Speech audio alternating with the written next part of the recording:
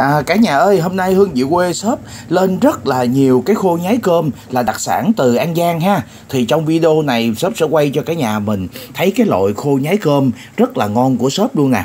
Thì đối với cái loại khô nhái cơm này á, thì nó sẽ làm từ cái con nhái con. Do đó khi mà mình dùng á, thì mình chỉ cần chiên lên thôi, là mình có thể ăn luôn, xương luôn nha cả nhà.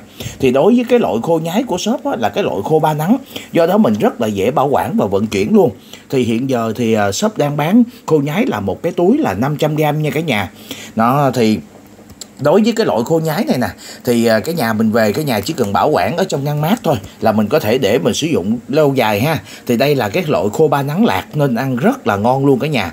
Thì à, cái nhà mình thấy đây nè đây là từng cái con nhái cơm mà shop vừa mới lên hàng hôm nay luôn nè cả nhà. Nó rất là ngon luôn thì đây là một trong những cái đặc sản rất rất là nổi tiếng từ à, tỉnh An Giang ha. Thì shop rất là mong nhận được đơn hàng của cái nhà mình về cái, cái loại khô nhái này. Cảm ơn cả nhà.